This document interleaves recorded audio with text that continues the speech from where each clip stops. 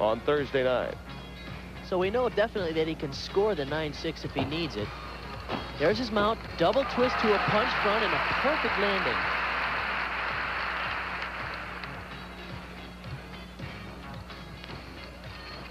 There's a nice tumbling run. Handspring front one and three quarter front flip.